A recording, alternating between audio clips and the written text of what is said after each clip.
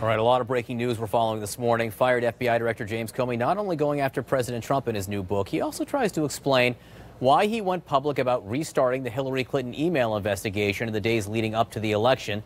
He writes, It is entirely possible that because I was making decisions in an environment where Hillary Clinton was sure to be the next president, my concern about making her an illegitimate president by concealing the restarted investigation bore greater weight than it would have if the election appeared closer or if Donald Trump were ahead in the polls. But I don't know, he says. Back with us, CNN political commentator and former Hillary Clinton campaign manager Robby Mook and CNN political commentator, Republican strategist Alice Stewart. Uh, Robby, James Comey also writes of Hillary Clinton I have read she has felt anger toward me personally, and I'm sorry for that. I'm sorry that I couldn't do a better job explaining to her and her supporters why I made the decisions I made. So he says he's sorry for that. Apology accepted?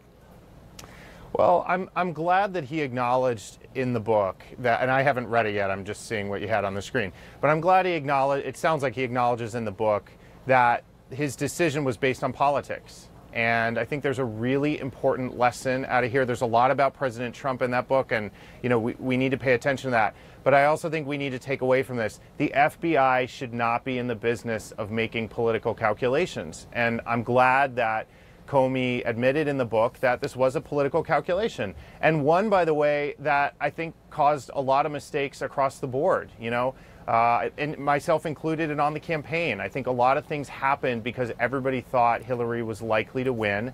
I think those things added up um, uh, to you know to the result that we have. Um, I, to be honest with you, my understanding is there's a lot about leadership in the book. I wish that Mr. Comey reflected a little bit more deeply and maybe called what he did a mistake because I think it was. And again, particularly because he talks so much about how important it is to follow the rules and follow the law. There were really clear rules in place that he shouldn't have done what he did, and he chose to break them and apparently did that based on politics. So